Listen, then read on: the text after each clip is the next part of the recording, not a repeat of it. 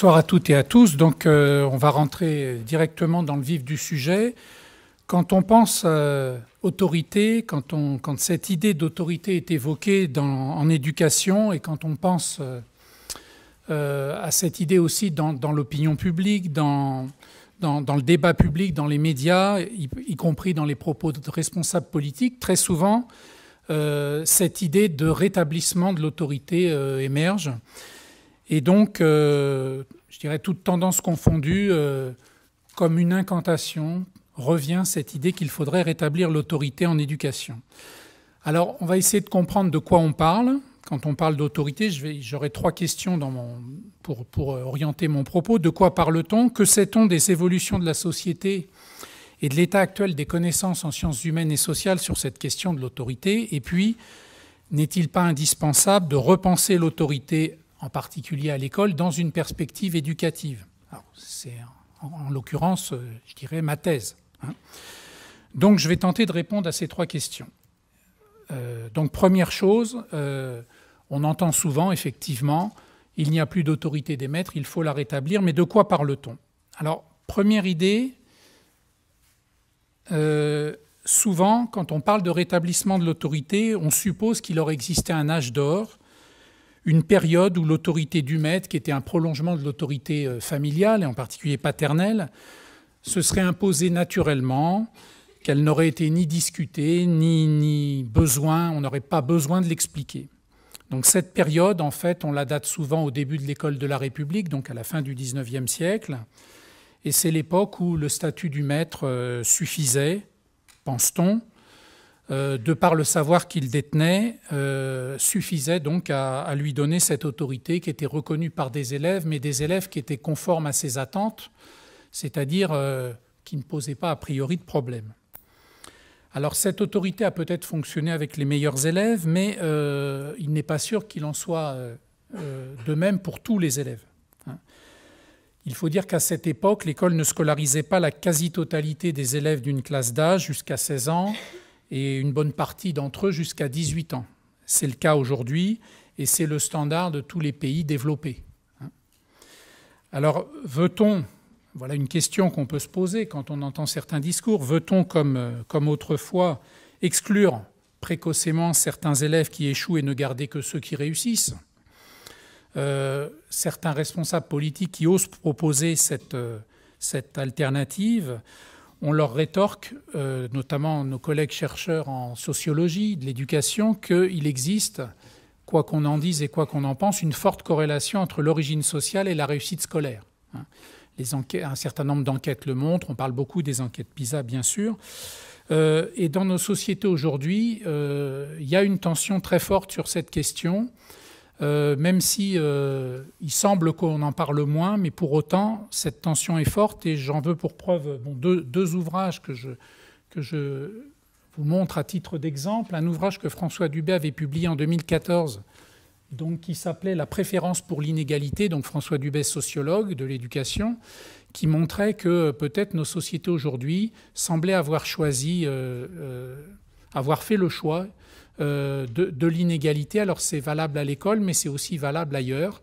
Ce qui peut expliquer aussi, c'est pas mon propos, mais je veux dire euh, ce qu'on voit aujourd'hui à travers un certain nombre de mouvements sociaux et le mouvement des Gilets jaunes en France. Et un collègue pédagogue, Sylvain Connac, euh, qui est donc à l'Université de Montpellier, qui, lui, euh, dans un ouvrage qu'il a publié en 2017, et donc qui a pour titre Enseigner sans exclure, pose cette question euh, en proposant bien sûr des réponses pédagogiques, mais le fait même que cette question se pose euh, montre bien que euh, aujourd'hui, cette problématique de l'exclusion, de l'exclusion sociale et de l'exclusion scolaire, elle, se pose. Peut-être est-elle insuffisamment présente, moins qu'à une autre époque, mais pour autant, elle est, toujours, là, même si elle ne fait pas forcément la une des médias ou la une des journaux. Alors deuxième, aspect, euh, quand on parle de rétablissement de l'autorité, on laisse souvent planer un non-dit. Euh, et notamment, on laisse entendre que l'autorité pourrait s'exercer par la force. Or, toutes les définitions de référence, et en particulier celle de la philosophe Anna Arendt, dont on nous parle très souvent quand on parle d'autorité, disent très clairement que l'autorité, c'est une influence qui, contrairement au pouvoir, s'exerce sans recours possible à la force. Donc c'est ce qui distingue l'autorité du pouvoir, c'est cette possibilité qu'a le pouvoir de recourir à la force, sachant que le pouvoir n'est pas exclusivement, bien sûr, recours à la force. Bon, pour autant, on voit aussi dans nos sociétés que, de même dans un pays démocratique comme le nôtre, cette question de, l'usage légitime de la force euh, se pose, hein. bon, à travers un certain nombre de débats autour des lois euh, face au terrorisme ou face aux manifestations. Donc vous voyez que cette question, en tout cas, euh, du point de vue de l'autorité, est, claire. L'autorité se distingue du pouvoir par le fait qu'elle ne recourt pas à la force. Elle est donc une influence. Donc, en ce sens, j'ai appelé euh, autorité autoritariste, alors avec une forme de répétition, mais vous verrez pourquoi tout à l'heure. Donc, j'ai appelé autorité autoritariste dans la relation éducative euh, cette, cette relation justement, où celui qui détient un statut dans l'institution, alors ça c'est en général l'enseignant, mais on peut aussi penser à, d'autres relations éducatives, euh, famille euh, par exemple. Donc euh, celui qui détient ce statut exerce une domination sur l'autre en cherchant à obtenir de lui donc une obéissance inconditionnelle sous la forme d'une soumission. Alors bien sûr, dans la relation éducative, il y a des situations où l'éducateur, que ce soit le parent, l'enseignant, euh, doit mettre en place des limites non négociables et les tenir. Mais cette conception que j'expose là devant vous, elle a deux caractéristiques. Tout d'abord, le fait que l'obéissance est rendue inconditionnelle donc par l'emploi du, registre de d'un registre répétitif, d'un registre systématique. Hein, on pourrait dire c'est toujours comme ça, ça ne, s'explique pas, ça ne se discute jamais. Hein. donc on obéit à l'adulte, à l'éducateur qui a forcément raison. Et puis, Deuxième idée, elle prend la forme donc d'une soumission de, l'enfant, du jeune. Donc on est dans un rapport de, domination, de, force, d'emprise. Et donc ceux qui prônent le, rétablissement de l'autorité en éducation confondent donc souvent autorité avec soumission par la force, laquelle, il est vrai, a été en usage euh, dans l'école de la République à un certain moment. Les plus anciens d'entre vous se souviennent sans doute que quand un instituteur donnait une claque à un élève, souvent euh, il arrivait qu'à la maison, l'enfant en question en reçoive d'autres de la part de ses parents. Hein. Euh, donc ça, c'était effectivement euh, une époque, mais aujourd'hui, un professeur qui serait auteur de violence physique à l'égard d'un élève risque un dépôt de plainte de la part des parents contre lui. Et c'est là, effectivement, qu'on peut dire, et je ne suis pas en train de regretter un, un âge passé hein, du tout, mais de dire quand même, d'admettre que les normes sociales ont évolué. On le verra tout à l'heure, je parlerai un petit peu du statut de l'enfant dans nos sociétés. Ce statut-là aussi a évolué. Et on peut, on peut se dire qu'il est peu probable qu'au niveau des normes sociales, on revienne en, arrière sur ce point. Hein, c'est-à-dire qu'on autorise, par exemple, les enseignants à taper les élèves. Bon.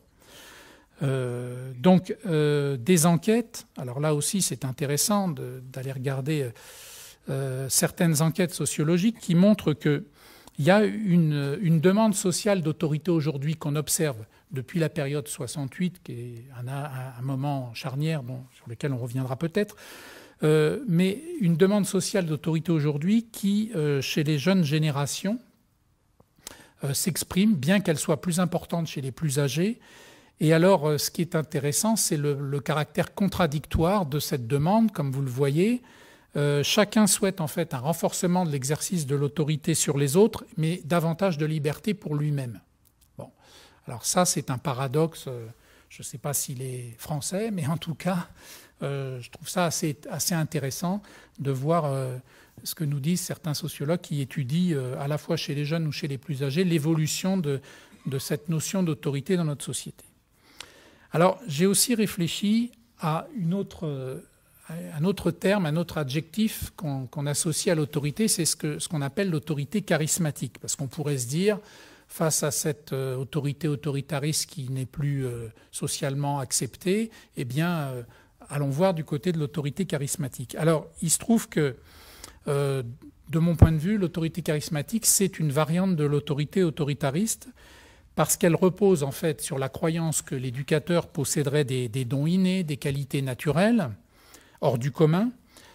Euh, et elle peut caractériser, par exemple, les enseignants qui, euh, qui ont une relation avec leurs élèves qui va reposer exclusivement sur eux-mêmes, sur leur personne. sans se référer à leur fonction dans, l'établissement, ni faire de lien avec d'autres catégories de personnel dans l'établissement. Alors par exemple, vous avez des professeurs, des choses que j'ai pu observer bien sûr dans des, dans des recherches ou dans des, en écoutant euh, ce qui se dit dans les salles de professeurs, qui disent à leurs collègues, ben moi avec ces élèves, euh, je n'ai pas de problème, tout va bien. Au moment même où le collègue est en train de dire que euh, lui avec cette classe, c'est difficile. Donc c'est déjà évidemment compliqué pour le collègue qui entend ça, qui se prend ça, je dirais, dans la figure, mais, mais en même temps, ça, ça, dit aussi quelque chose de celui qui prononce ces, paroles. Hein. Et en fait, euh, cette modalité euh, d'autorité charismatique, elle confond comme l'autorité autoritariste, c'est pour ça que je la range dans la même catégorie, elle confond autorité et pouvoir. Parce qu'en fait, le professeur charismatique, lui, va essayer d'user de la séduction, c'est-à-dire il va chercher à plaire aux, élèves, au lieu d'utiliser la force, mais en fait, ce qui l'intéresse euh, finalement, ce n'est pas de favoriser l'autonomie de, l'enfant ou du jeune, mais c'est plutôt de l'amener à rester soumis à ses volontés, à maintenir, ce jeune sous dépendance. Hein. Alors, en pratique, euh, cette relation d'autorité autoritariste va utiliser différents moyens. Alors, bon, bien sûr, la force physique, même si elle est moins utilisée, en tout cas à l'école, qu'elle l'était euh, autrefois. Euh, les davantage, le sont davantage les pressions psycho-affectives qui sont exercées sur les enfants et sur les jeunes, qui jouent, comme je le disais, sur la séduction, ou alors sur ce que un, sociologue Gérard Mindel, un psychosociologue, avait appelé dans les années 70 euh, justement la culpabilisation, qui vont réactiver le chantage à l'amour et l'angoisse d'abandon des personnes. Alors là, Mendel nous explique un ressort très très puissant de ce qu'il appelle le, phénomène autorité, de ce que moi j'appelle l'autorité autoritariste. C'est l'idée que dans la relation d'éducation, parfois dès la naissance de l'enfant, euh, il y a cette tendance, effectivement, pour, obtenir l'obéissance de l'enfant, voire, je dirais, pour le soumettre, on verra qu'il y a une différence aussi entre obéissance et soumission, eh bien, euh, l'adulte peut jouer sur cette, euh, sur cette culpabilisation, sur ce ressort de la culpabilisation, du chantage à l'amour. Et il nous dit, Mendel, que ça réactive des choses très profondes chez l'enfant, des choses primaires qui sont effectivement, dès la naissance, la peur d'être abandonné par ses parents, en particulier par la mère. Donc, euh, je prends juste deux exemples qui montrent que cette pratique, alors Mendel, nous dit cette pratique, on l'utilise effectivement euh, dès la petite enfance, et à partir des deux exemples dont je vais vous parler à l'instant, vous allez voir qu'elle euh, est encore très présente dans la façon dont on éduque les enfants. Euh, il arrive par exemple que des parents disent, on observe ça dans les supermarchés par exemple, quand l'enfant ne veut pas les suivre, bon ben je te laisse, je m'en vais. ce genre de propos. Hein. Autre type de propos très souvent utilisé aussi dans la sphère éducative, euh, un, parent qui dit à son enfant, si tu ne fais pas ce que je te dis, bah, je t'aime plus. Ce chantage à l'amour. là, on a effectivement des exemples très concrets de ce que Mendel avait mis en évidence il y a déjà euh, une quarantaine d'années, voire même plus, presque une cinquantaine d'années. Donc, voilà des ressorts très profonds aussi au niveau des pressions psychoaffectives qui maintiennent effectivement des relations d'autorité autoritariste. Et puis il y a un, alors euh, euh, il a commencé assistant d'éducation, il a fini chef d'établissement, un, témoin, on peut dire, un monsieur qui s'appelait Henri Brunel, qui avait écrit un ouvrage tout à fait édifiant où il expliquait comment, dans un groupe, il pouvait effectivement se servir de certains euh, élèves pour, pour comme force de pression pour manipuler les autres. Donc il y a aussi cette dimension de, manipulation de groupe que certains euh, professeurs, experts peut-être en technique de manipulation de groupe, sont, parfois sont, en mesure de faire. Alors, euh, dernier vocable aussi dans ce registre de l'autorité autoritariste, c'est ce qu'on appelle aussi parfois l'autorité naturelle, l'autorité dite naturelle. Vous voyez que je mets des guillemets. Euh, c'est une représentation qui est encore très vivace, tenace, je dirais même, dans l'éducation, mais aussi dans la société tout entière. Certaines personnes auraient de l'autorité et d'autres pas, comme on dit. On en aurait ou on n'en aurait pas de l'autorité. Et donc à l'école, euh, il y a tout un discours, il y a tout un tas d'ouvrages aussi qui, montrent cette image de, du bon maître, du pédagogue exceptionnel, euh, qui a une autorité charismatique ou traditionnelle et qui euh, cultive un, un savant équilibre entre effectivement amour et, et, sévérité, hein, on pourrait dire. Et donc, on a cette idée, effectivement, qu'un bon professeur, ce serait quelqu'un qui, serait doté d'une autorité qui s'imposerait d'elle-même. Alors, soit du fait de sa personnalité, soit parce qu'il détient le savoir. Et en France en particulier, l'association du professeur à la détention du savoir est vraiment majeure. Alors parfois, bien sûr, les deux arguments peuvent être mêlés. Hein. Euh, à la fois, euh, quelqu'un est exceptionnel et en, plus, il détient le savoir. Mais on s'aperçoit aussi, euh, dans le champ de l'éducation, que être savant, ça c'est une chose fondamentale qu'on travaille à l'ESP. Être savant ne suffit pas à savoir faire apprendre des élèves. Donc une autre façon de dire les choses, qui était d'ailleurs le, le, fil directeur de, la réforme de l'ESP, c'est de dire qu'enseigner est un métier qui s'apprend. Donc euh, être savant ne suffit pas à savoir faire apprendre des élèves, et puis il y a parfois des gens exceptionnels, peut-être, qui ont un charisme, qui ont euh, un art oratoire assez, subtil, assez fort, mais quand on, prend le temps de regarder le contenu parfois des messages, ou les informations qu'il nous livre, on s'aperçoit que peut-être c'est pas si, riche que, ça en a l'air à la première écoute. Alors, euh, dans mes recherches sur l'autorité, j'ai eu bien sûr un certain nombre d'enseignants qui ont parlé de cette autorité naturelle. Hein. Et ce que j'ai observé, c'est que quand ils en parlent, c'est toujours en référence à une perception nostalgique de leur vécu d'enfant ou d'élève. Et alors, paradoxalement, ces enseignants, quand je leur demande de m'expliquer, mais comment cette autorité naturelle euh, s'exerce, décrivez-moi comment ça se passe. Euh, euh, comment on peut la codifier Ça pourrait servir à d'autres, donc expliquez-moi. Eh bien, ce sont souvent, enfin toujours, je n'ai jamais obtenu d'autres types de réponses, ces personnes n'arrivent pas à, codifier, à expliquer comment cette autorité s'exercerait. Alors plus précisément, ce qu'ils me disent, c'est qu'il y aurait une autorité naturelle à partir du moment où il n'y aurait plus exercice visible d'autorité autoritariste. C'est-à-dire euh, quand, il y a un moment de calme, quand on a une bonne ambiance, un bon climat, et eh bien là, effectivement, on a ce sentiment, ces sensations, on est du côté des émotions et des sensations, qui aurait une autorité naturelle. Un certain nombre d'autres chercheurs aussi qui ont travaillé sur la relation enseignant-élève dans les années 70, mais aussi plus récemment, ont montré que cette façon de répondre au problème des origines de l'autorité, parce que c'est ça en fait, euh, parler d'autorité naturelle, c'est donner une réponse aux origines. Comment vient cette autorité? Elle serait naturelle. Donc euh, répondre ainsi au problème des origines, c'est en fait euh, quelque chose qui est fondamentalement de l'ordre du mythe. Répondre par l'autorité naturelle, hein. c'est vraiment quelque chose de l'ordre du mythe. Pour autant, cette, cette idée reste très présente dans les discours, mais évidemment, elle ne peut satisfaire euh, le chercheur, mais aussi le formateur et moins encore l'enseignant ou l'éducateur.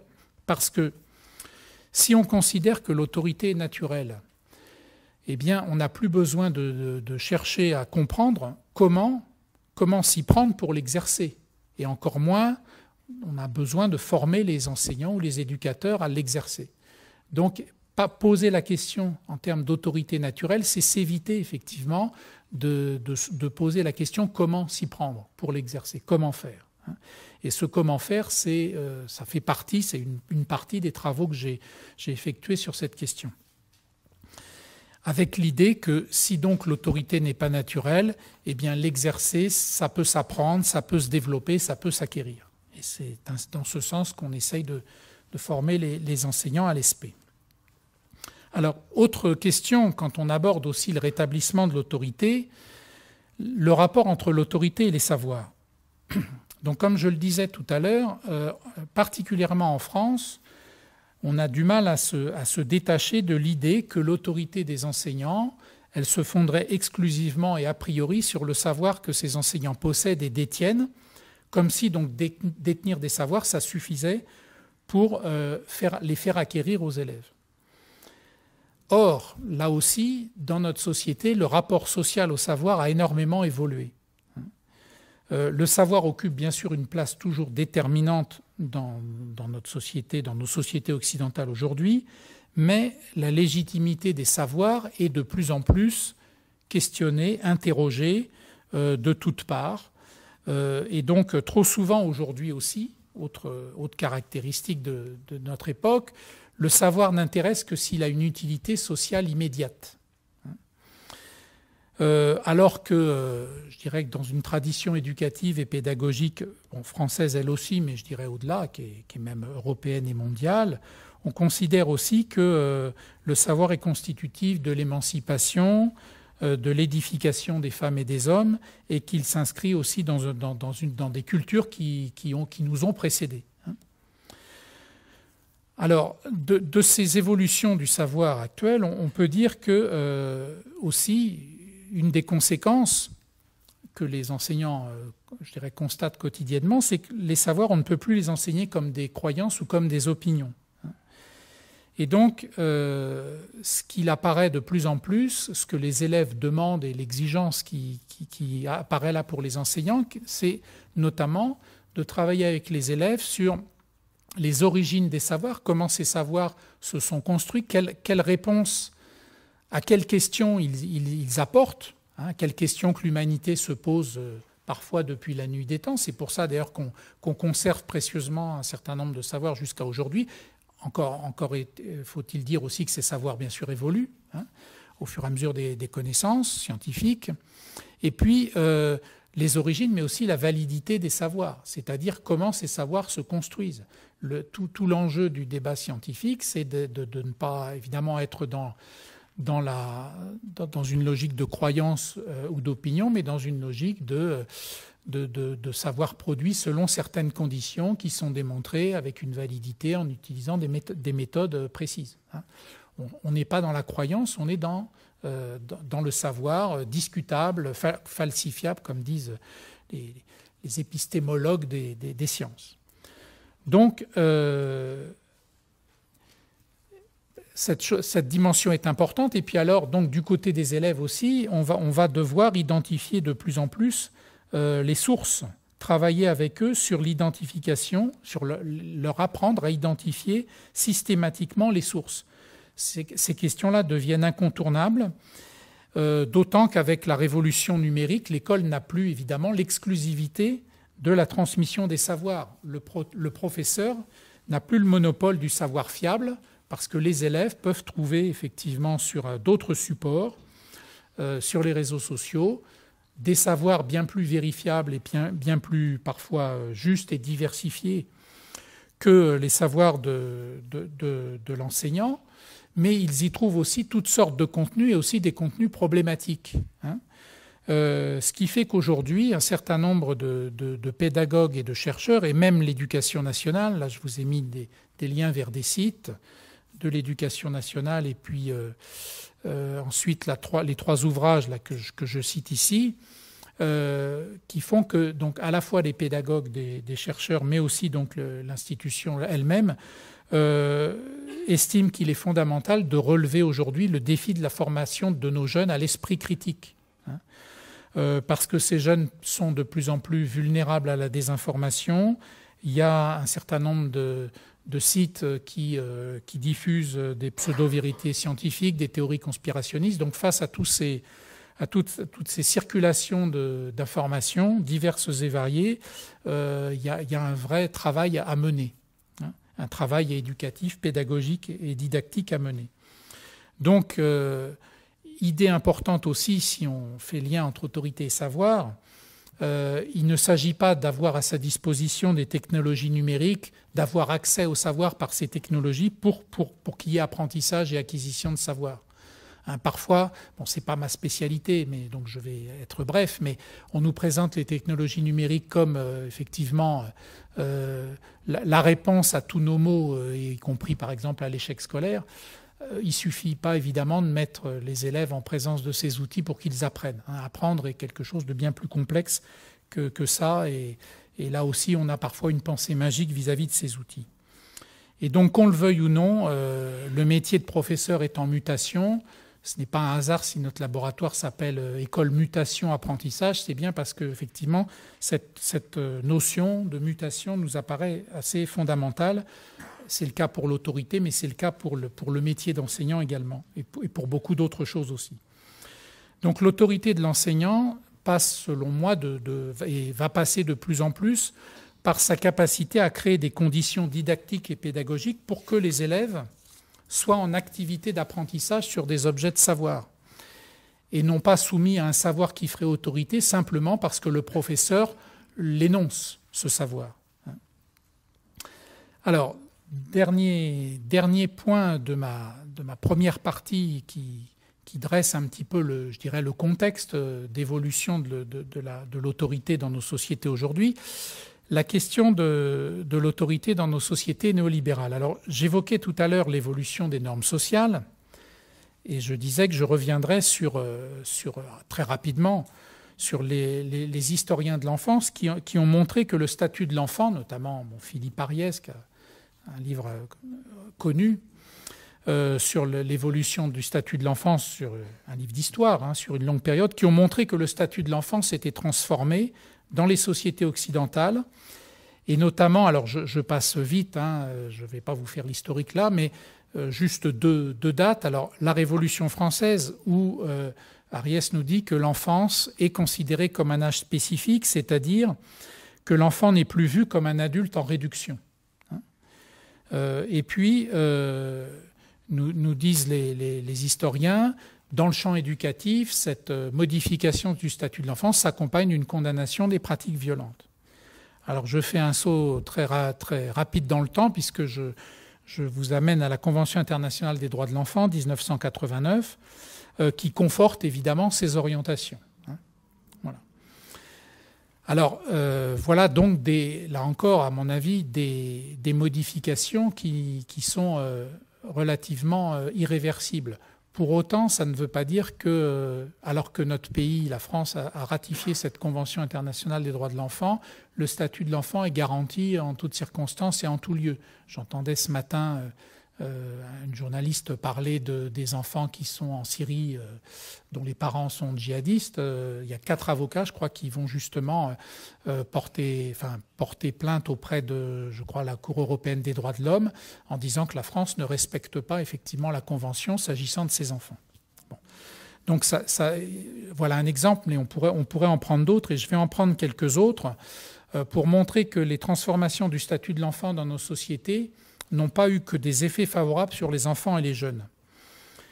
Euh, et là aussi, c'est un certain nombre de chercheurs, euh, des pédopsychiatres en l'occurrence, ou des psychanalystes, qui ont travaillé sur la, la relation d'autorité en éducation et qui montrent qu'apparaît dans nos sociétés euh, la figure de l'enfant roi qui va modifier les conceptions et les modalités d'exercice de l'autorité en éducation. Donc c'est Daniel Marcelli, le pédopsychiatre, dans son livre L'enfant chef de la famille, l'autorité de l'infantile, qui dit justement que on assiste à une inversion des places générationnelles, où l'enfant donc euh, a le dernier mot, devient chef de la famille, a le dernier mot. Parfois, dans certaines, c'est une tendance, bien sûr, c'est pas pas général, mais il y a quand même une tendance sociétale forte. Et du côté de l'adolescent, on observe des adolescents qui sont laissés livrer à eux-mêmes, qui de fait vont tenter en vain de se fixer leurs propres limites, au risque parfois et ça c'est Philippe Mérieux qui le dit, de s'assujettir à des formes d'emprise euh, bien, plus, bien plus aliénantes que l'autorité qui est défaillante ou que l'autorité qu'il refuse. Hein. Euh, et on voit par exemple, juste un exemple aussi pour montrer que c'est une tendance sociétale de fond, la publicité utilise à, à fond, à plein, je dirais, cette inversion des places générationnelles, où c'est l'enfant, l'adolescent qui dit à son parent ce qu'il doit consommer, ce qu'il doit acheter. Alors, je me souviens d'une publicité pour l'usage des antibiotiques il y a quelques années, où c'était une petite fille qui était vraiment, je dirais, le docteur de ses parents. Euh, donc voilà, ça c'est un exemple.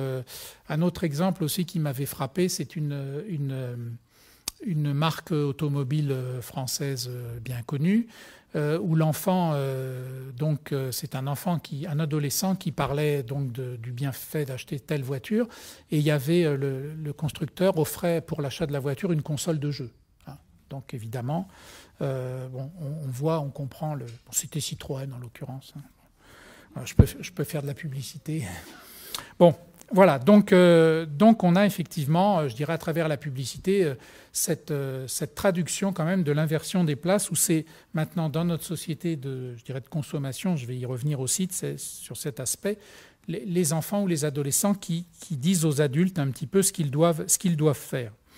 Et du coup, on observe que de nombreux adultes sont dans des situations où ils, ont du mal à poser leur autorité, à refuser, euh, enfin, ils refusent justement les situations de conflit, alors soit parce qu'ils ont peur de ne, de ne plus être aimés par les enfants ou les adolescents, soit au contraire euh, parce qu'ils considèrent que ce n'est pas eux de prendre part à leur éducation. Hein. et donc on entend des remarques du genre c'est la faute des parents ou c'est le travail de la vie scolaire hein, dans, dans les établissements scolaires. Et donc, euh, ces comportements d'adultes, me semble-t-il, sont euh, des manifestations euh, visibles de ce que j'ai appelé l'autorité évacuée ou l'autorité transférée, parce qu'en fait, l'autorité ne peut pas ne pas s'exercer. Donc, quand elle ne s'exerce pas, il y a toujours quelqu'un qui l'exerce. Hein, si ce n'est pas les parents, c'est d'autres, instances, d'autres institutions, on va le voir. Et donc, euh, l'autorité évacuée, pour moi, c'est cette tendance qui est répandue dans notre société actuelle et, dans les métiers d'éducation également, à refuser l'idée d'autorité ou le fait de l'exercer parce que, quelque part, exercer l'autorité, ce serait quelque chose d'illégitime ou d'anti-éducatif. Et donc, pour, euh, en terminer, euh, ce, type de, ce type de réaction va de pair, s'accorde très bien avec les valeurs individualistes et productivistes de nos sociétés. Euh, et je parlais de ces nouvelles autorités, et c'est donc le, philosophe Bernard Stiegler qui, a analysé ce qu'il appelle donc le capitalisme pulsionnel, en, parlant de, des entreprises multinationales industrielles et financières qui contrôlent les moyens de communication audiovisuelle et numérique, et qui commandent, donc diffusent la publicité. Et donc elles sont ces nouvelles autorités qui vont dicter les valeurs et les comportements. Et donc Stiegler parle de capitalisme pulsionnel pour insister sur cette tendance euh, addictive à consommer qui est engendrée, qui est entretenue par le marketing de ces entreprises multinationales. Alors, bien évidemment, les jeunes sont les premières cibles de, ce marketing. On cherche à capter leur attention en permanence, à exciter leur pulsion primaire et régressive. On cherche à satisfaire un pouvoir d'action qui va être guidé par, euh, un plaisir immédiat, sans limite apparente. Et donc, euh, euh, en, leur, donnant à penser qu'ils existent parce qu'ils consomment. Et donc euh, consommer euh, tel ou tel produit, c'est aussi être avec les autres, c'est être comme les autres, dans, une, dans un rapport où ils sont passifs et où ils n'ont pas d'effort à faire. Et le problème, c'est que les exigences de l'action éducative, enfin éduquer, euh, ce n'est pas justement, enfin, ça, ne, ça n'active pas ces mêmes, ces mêmes types d'attitudes, c'est même tout l'inverse.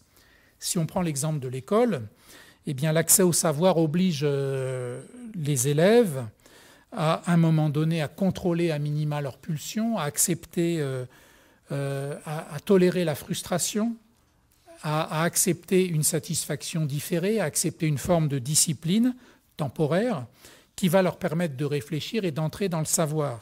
Hein.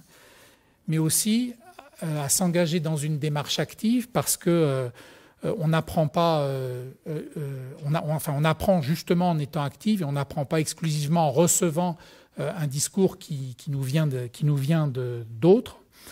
Apprendre est une démarche active, même quand on écoute d'ailleurs, je dirais, quelqu'un. Et donc, euh, cette, dimension d'activité euh, réclame de la durée et réclame de l'effort de la part des élèves. Donc, euh, il y a un certain nombre de conséquences de, ces logiques, de ces valeurs néolibérales sur l'éducation et sur l'enseignement aujourd'hui.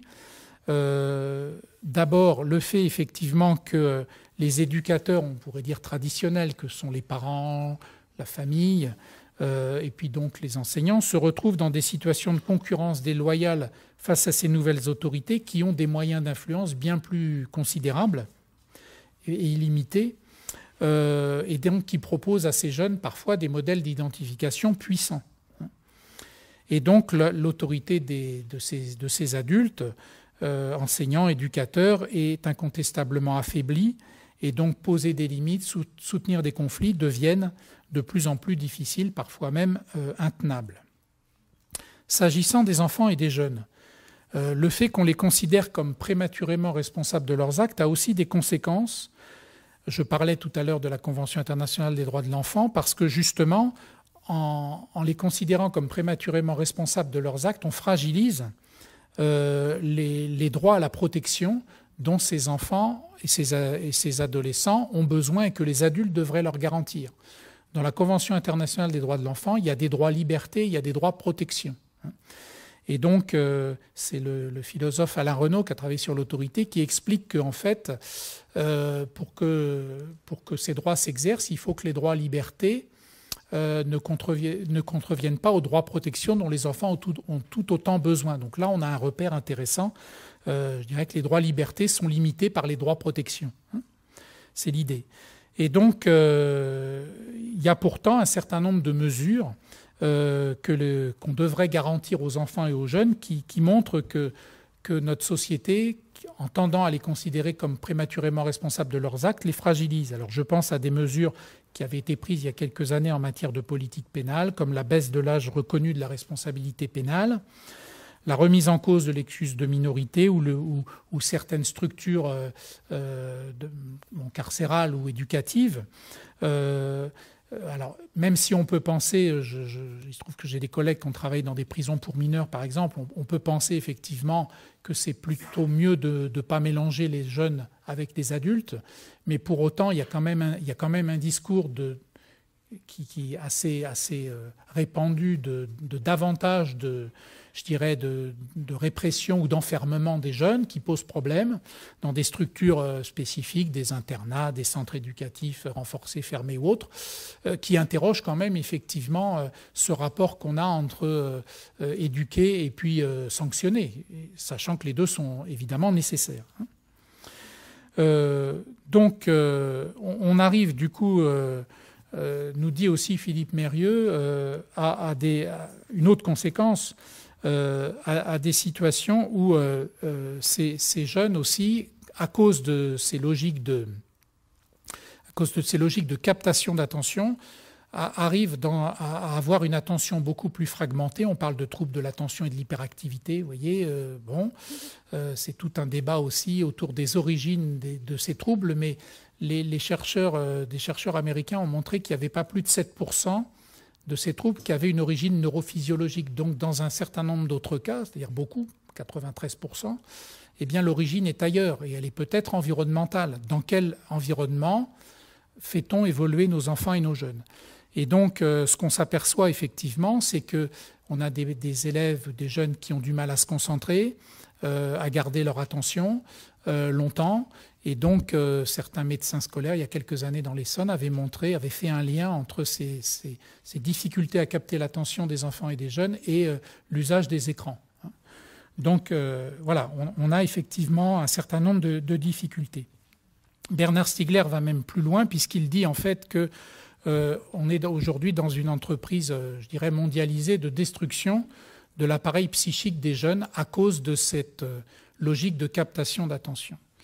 Et donc on aboutit à une situation euh, assez paradoxale, puisqu'en fait, le système social reproche aux éducateurs et aux enseignants de ne plus jouer leur rôle, alors qu'une action éducative irait à, contresens, à contre-courant des, valeurs dominantes aujourd'hui. Alors, dans un tel contexte, évidemment, on ne va pas rester sur ce constat un peu euh, euh, pessimiste. J'arrive maintenant à la deuxième partie de mon propos qui sera forcément plus courte. Et donc, euh, comment on peut repenser euh, l'autorité à l'école dans une perspective éducative? Alors, euh, j'ai parlé tout à l'heure d'autorité autoritariste et d'autorité évacuée ou transférée, mais en fait, utiliser ces termes, pour moi, c'est un artifice de langage parce que ni l'une ni l'autre ne relève de l'autorité. L'autorité autoritariste, c'est un abus de pouvoir. Et l'autorité évacuée, c'est le fait de ne pas l'exercer, l'autorité. Donc c'est un déficit d'exercice d'autorité. Euh, et donc ces deux types d'attitudes, euh, on, l'a vu, comportent des risques pour l'enfant et l'adolescent. La première, l'autorité autoritariste, elle laisse effectivement euh, l'expression, la violence s'exprimer, et donc elle barre tout échange entre sujets humains possibles, donc tout processus éducatif. Et la seconde, elle, suppose que le processus éducatif est achevé et elle s'abstient d'intervenir. Hein. Donc euh, ces deux formes d'autorité, euh, elles ont pour caractéristique, de mon point de vue, de se traduire par l'abandon du lien éducatif. Et donc tout l'enjeu de l'autorité éducative, pour moi, et là je me réfère notamment aux travaux de Mireille Sifali, qui a beaucoup travaillé sur le lien éducatif, tout l'enjeu, c'est de s'efforcer de prendre soin de ce lien à l'autre et de le maintenir quoi qu'il arrive, même si c'est difficile avec certains élèves. J'ai travaillé dans des endroits difficiles et je, sais que, qu'avec certains élèves, c'est un pari, c'est un défi, mais euh, je dirais que c'est le défi qu'on a à relever en tant qu'enseignant, en tant, qu'éducateur, et c'est donc l'enjeu pour moi de l'autorité éducative. Alors, j'en viens maintenant à parler des fondements de l'autorité éducative. Alors, euh, je vais peut-être passer sur la définition. On y reviendra peut-être, mais je préfère vous parler des fondements. Euh, on pense souvent que l'autorité serait un mal nécessaire de la relation humaine, euh, qu'on exerce l'autorité parce qu'il faut bien l'exercer, mais qu'en fait, on n'est pas forcément très convaincu que, c'est une, bonne chose de le faire.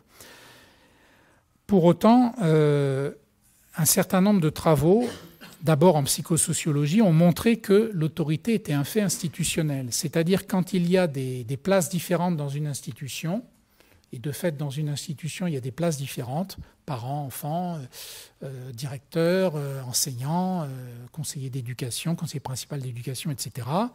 Eh bien, du fait de cette distinction des places, il y a forcément effectivement des phénomènes d'autorité et de pouvoir. Hein, donc c'est ce que Ardoino nous dit. Et puis deuxième idée importante aussi, alors voyez que d'ailleurs ces idées arrivent dans les années 70, hein, à l'époque des années 68, où on nous, fait croire que l'autorité, toute autorité aurait disparu. C'est une forme d'autorité qui a été contestée, l'autorité patriarcale traditionnelle. Mais c'est aussi une époque où beaucoup de chercheurs ont, travaillé sur ce qu'était véritablement l'autorité. Mendel, dont je parlais tout à l'heure, et de, cette, période-là aussi, hein, 71. Et donc, euh, on travaillait aussi pour mieux comprendre le phénomène et pour essayer d'en dégager des alternatives qui nous servent toujours aujourd'hui. Et donc, c'est euh, des, praticiens de la pédagogie institutionnelle, Fernand Ouré Jacquepin, qui nous disent que l'autorité, c'est une relation qui se construit dans et par l'action et qu'elle passe par des actions observables. Donc euh, voilà déjà quelques, fondements intéressants. Et puis alors, euh, il y en a d'autres qui m'intéressent encore plus. Là, je pense qu'on a un argument assez convaincant.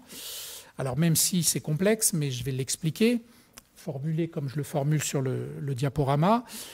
Il y a cette idée euh, que c'est Daniel Marcelli qui l'énonce, toujours le même, le pédopsychiatre, en s'appuyant sur des travaux de paléontologues qui montre que l'autorité est inhérente à l'espèce humaine, et il fait aussi référence aux travaux de Darwin pour montrer que euh, quand on pense aux travaux de Darwin, on pense souvent à des traits physiques que l'espèce humaine aurait conservés au fil du temps jusqu'à aujourd'hui, mais il y a aussi des traits psychiques et des traits sociaux, des traits relationnels. Et donc euh, Marcelli nous explique que euh, la relation d'autorité, elle s'est imposée pour réguler les relations entre les gens d'un groupe social, entre donc une société, et puis aussi, quand il parle de relations au fondement de l'humanisation, c'est pour éduquer l'enfant. Hein. Donc je vais, je vais y revenir. Il y a aussi des philosophes euh, qui sont cités ici, euh, Blais, Gaucher, Otavi, Éric Prérat, qui insistent aussi sur cette dimension d'une façon un petit peu différente dont je vous parlerai. Alors, euh, Marcelli prend donc chez un paléontologue qui s'appelle Delomley cet exemple de la chasse où il montre que effectivement dans la chasse parce qu'il y avait une vulnérabilité de chacun des membres d'un groupe. Alors, à l'époque préhistorique, euh, on, a cette image hein, que les hommes allaient à la chasse, bien sûr, et donc ce groupe s'organisait, euh, nous dit euh, ce, paléontologue, toujours sous la conduite finalement de ce qu'on appellerait aujourd'hui un leader, un chef. Alors ce leader, il, il mettait en œuvre une forme d'obéissance qui n'était pas une soumission parce que comme, nous dit euh, Delomley, la dépendance au groupe était maximale, et pour que l'entreprise réussisse, c'est-à-dire qu'on arrive à tuer l'animal sans se blesser ou sans perdre la vie, eh bien, il fallait que les gestes soient coordonnés. Et donc, ce, leader, ce chef à qui on, acceptait d'obéir, c'est sans doute celui qui avait eu les idées les plus intéressantes en termes de régulation et d'organisation du groupe pour permettre d'atteindre l'objectif sans se blesser. Et donc c'est comme ça, nous dit euh, Marcelli, que serait née effectivement la relation d'autorité. Alors si on extrapole cet exemple de la chasse euh, dans, aux environnements hostiles dans lesquels ces populations euh, évoluaient à l'époque, hein, avec des milieux dangereux, des climats rudes, des agressions d'autres groupes humains ou de bêtes sauvages, eh bien effectivement, il y avait un certain nombre de dangers où la mort, le risque de mort était omniprésent. Et donc, face à ces dangers, ces premiers hommes n'ont dû leur survie qu'à ces chefs, on, dirait donc des leaders aujourd'hui, auxquels ils ont accepté d'obéir, non pas parce qu'ils se sont soumis à eux, mais parce que les ordres que ces chefs leur donnaient leur sont apparus raisonnables de, nature à les protéger contre ces périls, euh, contre le risque de la mort se réfugier dans des grottes, par exemple, ne pas allumer un feu n'importe où, etc. Et donc, euh, ceux qui n'avaient pas respecté ces consignes, peut-être, avaient perdu la vie et l'ensemble du groupe en avait été témoin. Donc, vous voyez que là, me semble-t-il, on a quelque chose d'assez important, un argument assez, fort pour expliquer comment naît cette relation d'autorité dans les groupes humains. Euh, parce que euh, la fonction première de l'autorité, c'est d'assurer la sécurité des membres du groupe. Et c'est ça dont il est question ici. C'est bien cela dont il est question, assurer la sécurité des membres du groupe. Ce type de fonction, je n'ai pas le temps de le détailler, mais on le retrouve aujourd'hui dans tous les services d'urgence ou dans toutes les situations où les hommes se mettent, se mettent euh, oui, en, risque de, péril mortel. Je pense à des, groupes euh, d'action gendarmes, militaires ou autres, hein, ou les pompiers. Euh, ce type de fonctionnement est, équivalent. Alors, même si on a un petit peu, je dirais, raffiné les choses aujourd'hui, puisqu'il il y a un débriefing avant où le responsable, justement, et c'est là qu'on n'est plus dans des méthodes d'autorité autoritariste, le responsable explique la stratégie en disant que compte tenu du contexte, c'est la meilleure stratégie à adopter. Et là, les gens qui vont la mettre en œuvre peuvent, peuvent discuter la stratégie à ce moment-là. Au moment du briefing, c'est le moment où on peut encore discuter. Puis après, il y a l'action où, on ne discute plus, parce que si on discute, on perd du temps. Et donc on perd de l'efficacité, on risque de perdre effectivement euh, euh, le bénéfice de la stratégie qu'on a mise en place. Et puis une fois l'action effectuée, il y a le débriefing qui permet de revenir sur l'action et de tirer des enseignements de ce qui a fonctionné ou pas pour la, pour la suite, hein, pour, pour, une autre action. Donc on voit que cette logique fonctionne. Alors Daniel Marcelli, lui, il l'a transposé euh, à l'éducation, puisque euh, ce, que ces hommes préhistoriques, enfin ce que ces, ce que ces hommes préhistoriques nous ont montré aussi à travers les paléontologues, c'est qu'ils avaient aussi utilisé cette relation, euh, je dirais, pour éduquer leurs enfants. Alors, euh, du côté des enfants, ce qui, nous est montré, c'est que quand l'enfant commence à, à, à, marcher ou alors à se déplacer à quatre pattes, ces premiers hommes, ils avaient évidemment besoin de mettre des limites, parce que c'était la pérennité de l'espèce qui était en jeu si l'enfant disparaissait. Hein. Donc à la fois, euh, vous voyez, la sécurité, elle jouait pour le groupe, mais elle jouait aussi pour, euh, pour, la survie de l'espèce, pour les enfants. Donc cette relation d'autorité, elle s'est aussi développée dans l'éducation. Alors Marcelli, bien sûr, la transpose à ce qu'on sait aujourd'hui de, de, de, la psychologie du développement de l'enfant euh, dès, dès, le, dès le, plus jeune âge, hein, dès, la, naissance. Et donc, il, explique les origines sociologiques et psychologiques de, l'autorité éducative en montrant qu'entre les premiers mois de la naissance et les, et les 3 à 4 premières années de la vie de l'enfant, celui-ci, donc l'enfant, va construire des représentations intériorisées qui vont lui permettre de, se forger des limites contenantes et des limites qui vont le structurer. Alors, il, il explique que euh, ces limites, elles passent, enfin, cette construction, elle passe par le regard, par le regard de l'adulte et par ce qu'il appelle le partage d'attention ou le regard partagé. Et donc il dit euh, que, pour que ce regard, euh, pardon, je vais aller un petit peu moins vite, sur cette question du regard partagé et du, donc du, partage d'attention, il explique que au tout début de la vie de l'enfant, l'enfant se tourne vers son parent euh, attendant de lui une réponse. Et cette réponse va créer effectivement ce qu'il appelle un lien d'autorité silencieux, hein, une limite qui va protéger l'enfant dans son exploration du monde. Et donc, il dit ensuite que pour que cette euh, communication fonctionne, il faut trois conditions. D'abord, que le parent soit suffisamment proche de son enfant.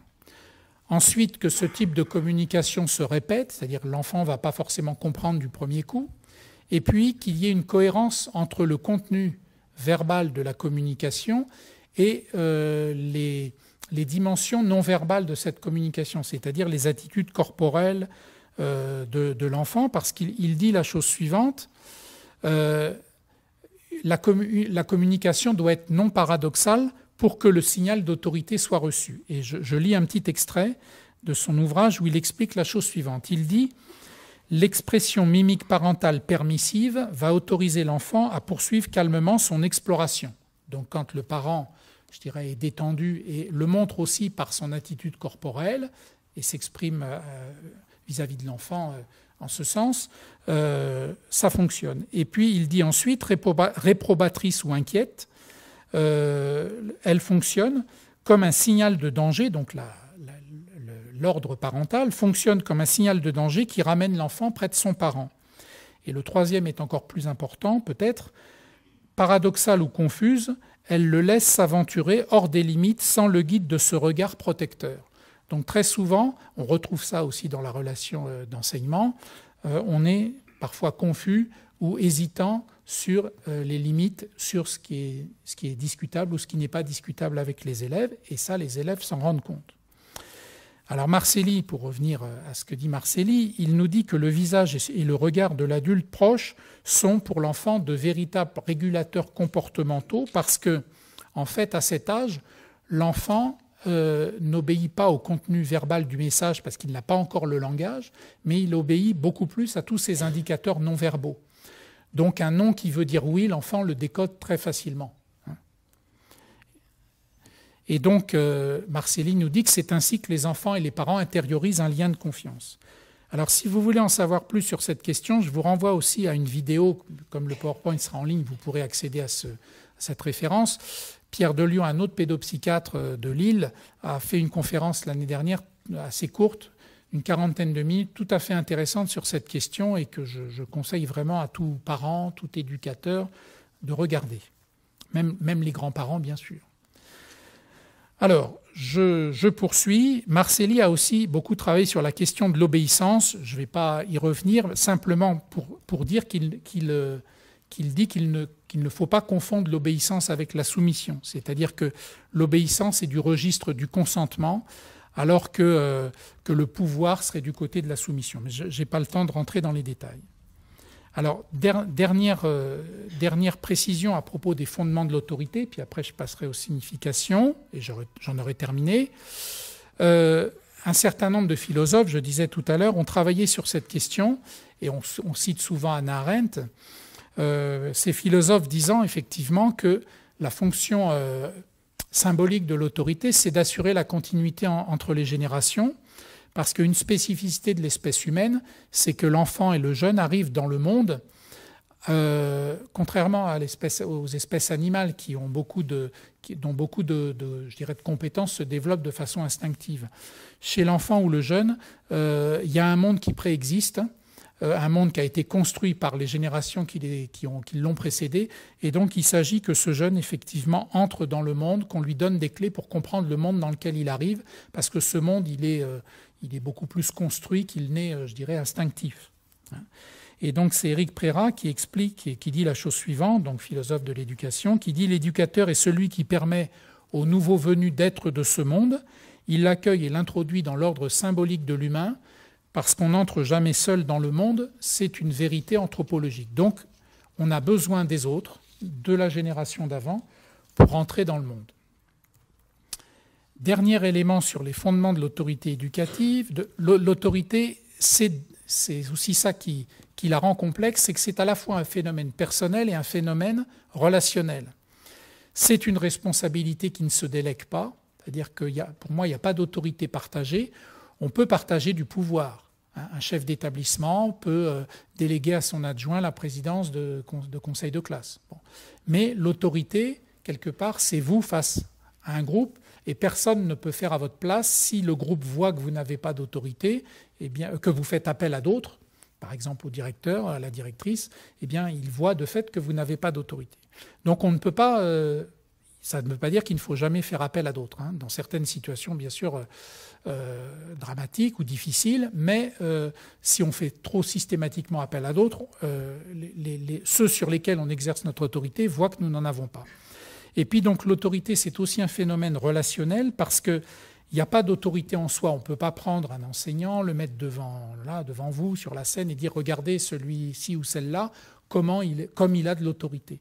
Cette autorité, elle s'exerce toujours dans une situation contextualisée, hein, dans une institution, où la place des uns et des autres va déterminer le rôle que chacun va, va y jouer, la fonction qu'il va occuper. Et donc on est dans, une logique d'intersubjectivité, d'interaction entre personnes dans un contexte. Alors, dernier point de mon intervention, la question des significations de l'autorité, après les, fondements.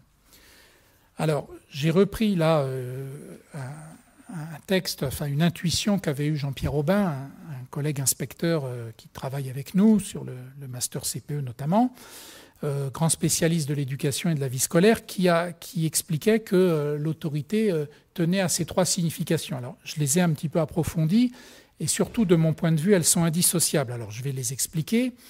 Je, je vous fais juste remarquer à partir de cette diapositive que la dimension être, la dimension du statut. Elle renvoie à l'étymologie latine potestas, c'est-à-dire le pouvoir.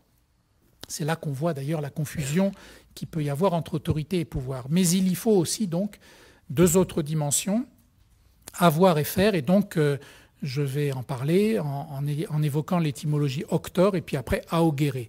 Et puis je dirai aussi quelques mots sur le faire autorité. Donc, être l'autorité, la question du statut. Alors, euh, cette, dimension de l'autorité statutaire, c'est l'idée de pouvoir légal, de fait d'institution, parce que quand il y a des places distinctes, et eh bien de fait, effectivement, euh, on n'a pas tous la même fonction dans l'institution, comme je le disais tout à l'heure. Et donc, ces différences de statut, elles, elles sont, elles sont non, non, discutables. Mais pour autant, euh, il ne suffit pas de dire je suis le professeur, vous allez m'obéir pour que ça fonctionne. Hein, ce serait trop simple. Donc c'est une condition nécessaire mais non suffisante, d'où la nécessité d'articuler avec avoir et être. Avoir et faire, pardon. Cependant, euh, cette dimension euh, euh, statutaire, elle permet à, l'enseignant, si je prends l'exemple de l'enseignant, de poser le non négociable d'abord de sa place générationnelle, mais aussi de sa fonction institutionnelle. Alors, place générationnelle. Qu'il le veuille ou non, l'enseignant, et c'est le cas aussi pour tout personnel d'un établissement scolaire, il, est un adulte aux yeux des enfants, il représente le monde des adultes aux yeux des enfants et des jeunes avant d'être identifié par sa fonction dans l'établissement. Et de fait, il a un rôle éducatif. Euh, les jeunes vont regarder comment ils se comportent, comment ils respectent les règles communes. Euh, et donc cette dimension de l'identification, elle est tout à fait importante dans la construction du jeune. On sait, les psychologues du développement l'ont montré, que euh, pour construire un jeune a besoin d'adultes auxquels il puisse s'identifier. Et s'il ne trouve pas ces adultes dans son environnement proche, parfois, je parlais des réseaux sociaux tout à l'heure, eh bien, il y a ce risque effectivement qu'il aille voir euh, des influences euh, ailleurs, des influences beaucoup moins euh, recommandables et, et, intéressantes pour lui. Bon, dans la durée, je veux dire. Donc là, on est sur l'idée que l'identification et le rôle éducatif de l'adulte est fondamental et il vient poser surtout le fait qu'il y a une différence d'âge, 5 minutes, ok. Différence d'âge, entre l'adulte et l'enfant, et puis surtout poser le fait qu'il y a euh, des interdits fondamentaux, parce que cet adulte, il est, il est le dépositaire d'une culture, il est le garant des interdits fondamentaux, alors que des ethnologues et des anthropologues ont montré, on parle d'interdits d'inceste, d'interdits de meurtre et d'interdits de parasitage, alors je ne sais pas si j'aurai le temps de les expliquer, mais peut-être il y aura des questions, j'y reviendrai au moment des questions, ce sont des interdits qui assurent l'existence, la survie et la pérennité de l'espèce humaine et de, des sociétés auxquelles nous appartenons. Donc en tant qu'adulte, on est garant de tout cela. Et puis en tant qu'enseignant, eh bien sûr, on remplit une mission dans l'institution qui est distincte de celle des autres. Ce que permet ce non négociable. Alors oui, peut-être dire d'abord que ce non négociable, alors je passe sur cette diapo, voilà. Ce qui distingue ce non négociable du négociable, c'est qu'il s'applique à l'adulte comme à l'enfant ou à l'adolescent et qu'il ne peut être mis en question ni par l'un ni par l'autre. On retrouve ces grands interdits fondateurs dans la Constitution française, par exemple, dans les grandes lois françaises. Donc ça, c'est une, première caractéristique. Et puis, ce qui va, ce qui va être aussi euh, tout à fait intéressant, c'est que euh, euh, ce non négociable, c'est ce qui permet à l'adulte et à l'enseignant de poser ce cadre éducatif c'est un psychologue qui s'appelle Dominique Ginet, formateur d'enseignants, qui parlait de cadre éducatif suffisamment contenant, de cadre souple dur, c'est-à-dire un cadre fiable, constant, rigoureux sans être rigide, un cadre qui porte des limites structurantes. Mais donc ce cadre, il faut qu'il soit défini, mais je vous, montrerai peut-être des exemples tout à l'heure, parce que là, je n'ai pas le temps. Donc simplement dire ici que euh, ce non négociable, il va permettre à l'adulte euh, de, de, poser, en s'appuyant dessus, de poser, euh, de déterminer les situations où il posera un acte, c'est-à-dire un geste ou une parole d'autorité, par lequel il va arrêter net la, transgression, éviter d'être dans la discussion permanente, je dirais sans culpabilité et sans remords. Et une fois que, que cet acte est posé, en restant bien sûr dans, dans une relation d'autorité éducative, c'est-à-dire sans être dans l'autoritarisme ni sans laisser sans ne pas intervenir, eh bien, on peut expliquer l'acte, on peut écouter et dialoguer d'une façon limitée, sans tomber dans la justification, et donc dans des perspectives de pédagogie coopérative, on peut même, à partir de ces échanges, produire des décisions et des règles communes. Alors, il me reste peu de temps, donc je vais vous parler juste, mais rapidement, d'avoir et faire autorité, qui sont euh, deux choses peut-être plus simples. L'idée docteur, être auteur de soi-même, avoir euh, cette j'aime bien l'expression confiance suffisante en soi.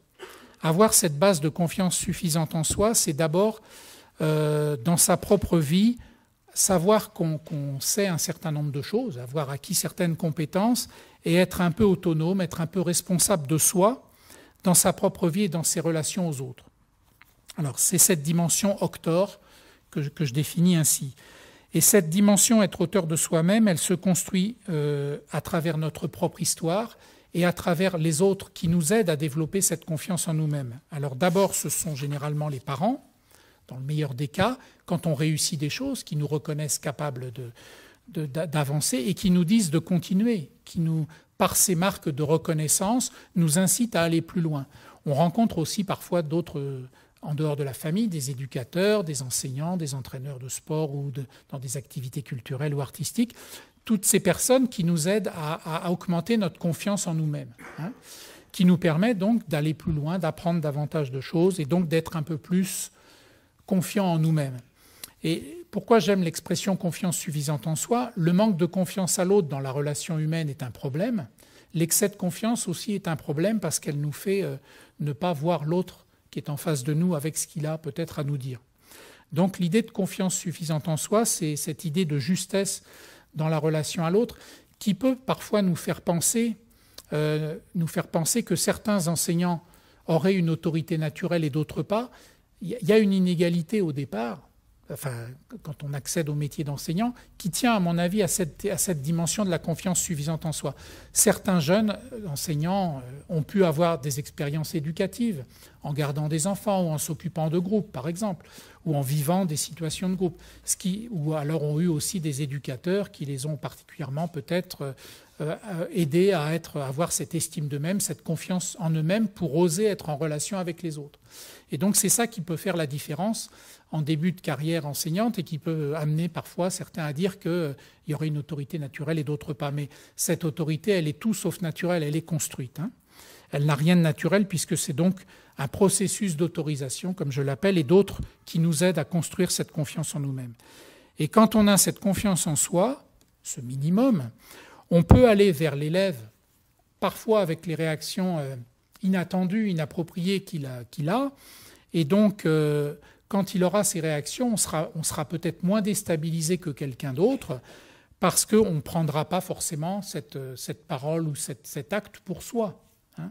Euh, et on aura peut-être même la possibilité d'aider cet autre à poser des actes qui vont lui permettre d'être aussi, lui, auteur, auteur de lui-même. Donc c'est cette idée euh, d'adulte suffisamment confiant en lui-même qui permet à l'autre de grandir, parce que l'étymologie latine augere, ça veut dire, ça signifie faire croître, faire grandir, augmenter. Hein. Donc on est, on est, directement, si je reprends cette définition que Philippe Mérieux pose de l'éducation, relation dissymétrique nécessaire et provisoire qui vise l'émergence d'un sujet, on est véritablement, pour moi, dans une synonymie entre autorité et éducation. Alors j'ai utilisé les termes autoritariste et évacué ou transféré parce que dans le langage courant, dans l'opinion commune, il y a ces, confusion, mais pour moi, l'autorité, la véritable autorité, est une autorité éducative. Alors je termine rapidement, donc c'est la dernière diapositive, le faire autorité.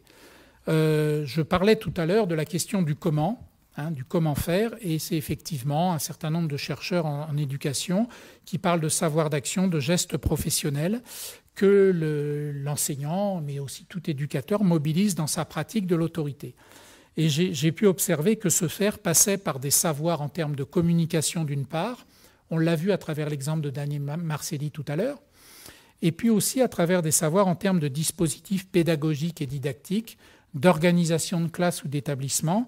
Et là, je renvoie effectivement aux pédagogies alternatives, coopératives, institutionnelles que j'étudie et que j'ai pratiquées aussi moi-même. Euh, on a un certain nombre de travaux maintenant disponibles, beaucoup d'études de cas qu'on appelle des monographies d'enfants ou de, classes ou d'établissements qui montrent effectivement comment, euh, avec ce type de pédagogie, euh, les enseignants peut-être sont mieux à même que d'autres d'exercer euh, euh, une autorité éducative. Voilà, ça ce sont les ouvrages que j'ai publiés euh, et je vous remercie de votre attention.